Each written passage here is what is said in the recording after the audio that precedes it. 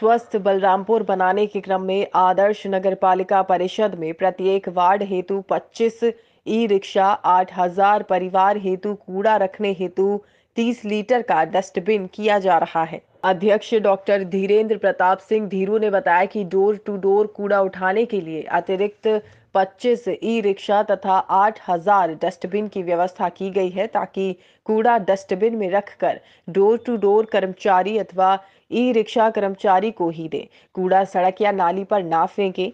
सफ़ाई व्यवस्था में यथासंभव सहयोग करने की अपील की उक्त अवसर पर अपर जिलाधिकारी प्रदीप कुमार, अधिशासी अधिकारी राजमणि वर्मा जिला मीडिया प्रभारी डीपी सिंह बैस, नगर अध्यक्ष कृष्ण गोपाल गुप्ता, गौरव मिश्र एवं सभासद गण उपस्थित रहे।